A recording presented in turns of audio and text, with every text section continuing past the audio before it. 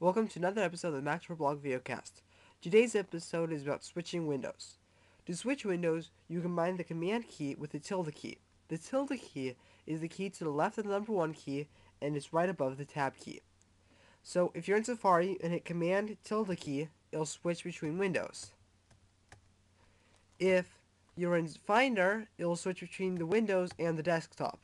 As you can see, the folder over here is activated right now, but if I switch, it'll become unactivated, and this will become the frontmost window. So I can switch over to desktop and open up the folder.